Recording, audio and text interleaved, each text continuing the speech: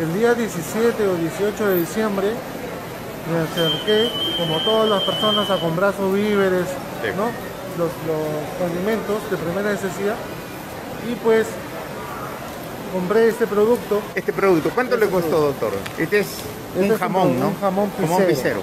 Este producto, eh, al pasar los días, se ha estado descomponiendo de manera tal que se infló y para mí era raro. Yo, entonces, yo, entonces yo me pongo Usted no se dio cuenta, el producto está en mal estado.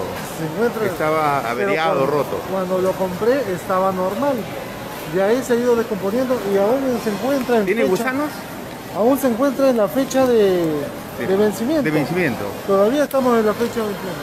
Pero sin embargo, mira el estado de este producto. Compuesto por lechoso, Sí, inflado, con líquido, inflado. Qué horror. prácticamente podrido. Y entonces yo me he acercado a la administración de Sí. esta tienda comercial y lo único que me supo A presentar decir su reclamo. a presentar mi reclamo solicitándole una mejor solución, ¿no? Para, porque estoy siendo afectado de una manera gravísima. Ponte León que me lo, Sí. que me lo haya consumido. Ahorita estuviera en el hospital Sí, intoxicado. usted y su familia, ¿no? Yo y mi familia.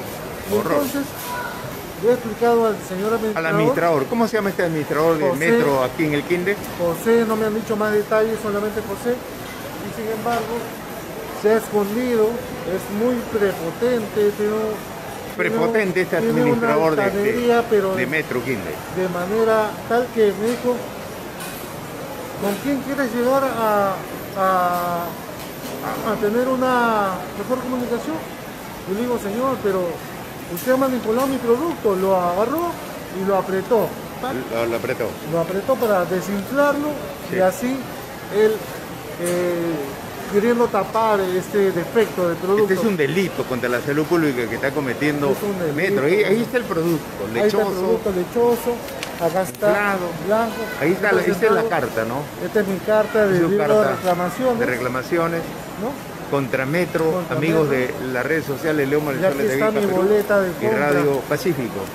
Ahí está mi boleta de compra, que efectivamente Metro vende productos de mala, muy mala calidad y Un atentado contra la salud pública, doctor. contra la salud pública de todos los ciudadanos de la ciudad Ica.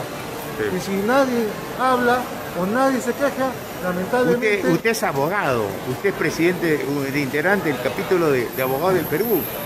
Y eso le cometen a un abogado que está en los derechos, a la gente de a pie humilde, ¿cómo sería, doctor? ¿cómo sería la gente de a pie humilde o a la gente que se deja engañar tan fácil diciendo, no, este, presenta tu libro de reclamaciones y vete a tu casa?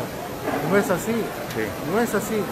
Debe dar la mejor solución y la mejor Usted es abogado, doctor. ¿Qué, qué va a hacer o qué paso va a seguir, doctor Vamos a, Oliver proce- Mencía? vamos a proseguir Sí. no solo por el mal servicio del- de la venta del mal producto, sino también vamos a formular la denuncia ante Indecopi, Sí. ¿no?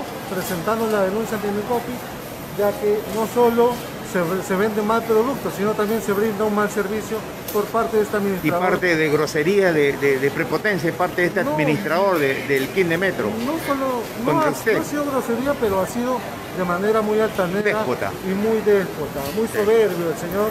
Como es un administrador de una tienda seguramente, pues le queda grande el cargo, grande el cargo y